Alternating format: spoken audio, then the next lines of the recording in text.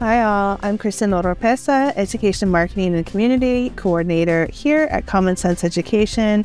We are back for another episode of helping educators get started uh, this school year. Today, I have Tali Horowitz with us. She is our East Coast Education Director. Good morning, Tali. Hi, happy to be here with you, Kristen. Awesome. Well, we're really excited. We've we've had so much fun this last week, you know, talking to all of our outreach people um, and even Bianca from EdTech Reviews and Ratings. So I want to talk, Tali, about um, uh, something that I think a lot of teachers and, and schools are thinking about at this time of the year, right? As, as they're just getting started. Some might be in the midst of uh, professional learning as they get back into their classrooms. Um, but many educators and schools are getting ready and thinking about how to teach digital citizenship in the classroom.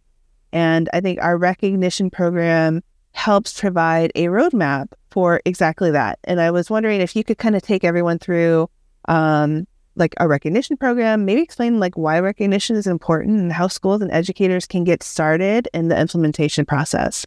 Absolutely. And I love recognition because of exactly what you said, that it does provide that roadmap of how to teach digital citizenship, how to bring in colleagues. So it's really a whole community approach. And also, I think it's a great way for educators to share professionally that they value digital citizenship. When you get recognition, that's a digital badge you can share in your school, you can share it on your website, you can share it in your signature. And actually, over the past two years, we had close to 10,000 individual educators apply for recognition and about 5,000 schools apply for school recognition. We have three different types of recognition. We have individual educator recognition, school recognition, and district recognition. So I'm just scrolling down from our recognition page. And I'm going to go ahead and click on the educator one first, where it says Get Started. And once I'm on that Get Started page, I'm going to scroll down. And this is what I love this learn, teach, engage, and reflect, because this is kind of the whole common sense approach to everything, right? You've got to have that learn piece. You're going to learn more about any digital citizenship topic that you want. And then you're going to teach the lessons. You're going to partner with families. And then you're going to reflect on how the process went, which is the actual application. So Kristen, you brought up the roadmap, which I love. So I'm going to go ahead and click on that roadmap over here. And this has everything you need. Now, I think it's important to just highlight that this roadmap is specifically for you educators. Common Sense doesn't collect anything. And quick secret, our application is actually incredibly easy. Um, but this roadmap is really for you. So if you see it in front of you, you can see it says make a copy. So go ahead, make a copy. Again, we're already starting to get you reflecting on, you know, what are you hoping to get from this experience? Why is it important to you to teach digital citizenship? Why do you want your kids to have this essential life skill? And then that learn piece is um, there's a lot of different ways you can do it. So you've got self guided trainings, we've got the hyperlinks there.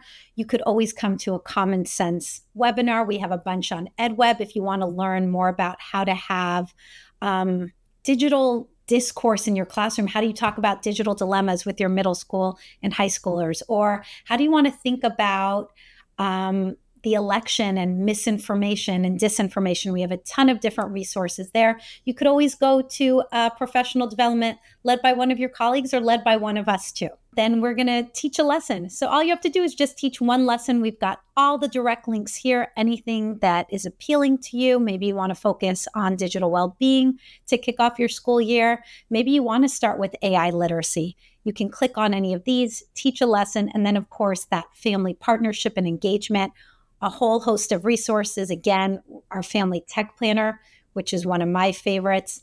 Um, and then you have family tip sheets. What is media balance and well being? What do we think about when we think about our digital footprint? All really simple. Um, and clear tip sheets. Jennifer was on last week and we talked about some ways to engage families, right? And and it's so easy. I remember when I was in the classroom, we used like Class Dojo, other school use Remind, um, sharing resources through like one of those apps is so easy, right? Because you can you can share this a PDF, you can share documents with parents, and so it's not like you know you're you're printing something and having to do all that, right? You can share it directly through whatever communication app the school is using. Um, so it makes it very easy for sharing and disseminating, I think, information to families, which is great. And then the last piece is that reflection and applying. So you're just clicking on that link here, and it's a really simple application. You're just checking things off and writing in that reflection. So this is for the educator roadmap, the educator application. I'm just hitting my back button because I'm going to take us back to that homepage of the recognition program. And I just want to show you what the school roadmap looks like.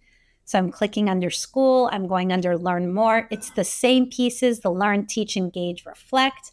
And then the school roadmap is a little bit more comprehensive because now you're thinking about teaching three or more lessons to three or more grade levels and sharing um, resources with families in three or more ways.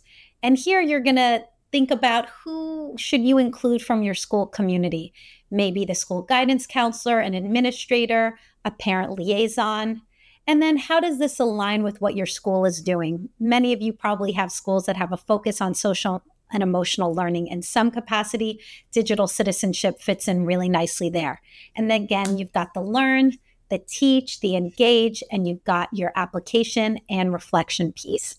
So that's the school one. And if you are a district administrator and you would like to get district recognition, you can get that if at least three quarters of your schools, so 75% of your schools, have received school recognition, you can apply for district recognition. Um, and we hope that you join us and apply. Well, you know, that roadmap makes it really simple, I think, for filling it out because everything that's on the roadmap is exactly what's on the application, right? So if you do the roadmap, you already got the application done. 100. Um, and and the, great thing too, Tali, like you know, you mentioned like the the badge, right? So many so many educators, um, you know, place priority on professional learning, and they they love getting badged, and I I love seeing them take pride in that and, and sharing that on social. And and it's a it's a pretty big deal right? To like you, to know that your your teacher your child's edu- educator right is is um deciding and making a very conscious choice to teach that in the classroom. And, and i think when we think about the school recognition piece that's something that school leaders are definitely looking for. Um, i think communities want to make sure that they're kids are getting these essential life skills. Um, and it's something that you can put prominently on your school website as well. Well, thank you, Tali, for, for being here and, and for sharing all about recognition. Um, we'll make sure that everybody knows where they can find um, that recognition page as well as the roadmaps. Um, and again, if they have any questions, you know, we're here. We're here to help them and get get started and get that implementation underway this school year. Yeah. Thank you all. Thank you for teaching our kids. Thanks. Bye all.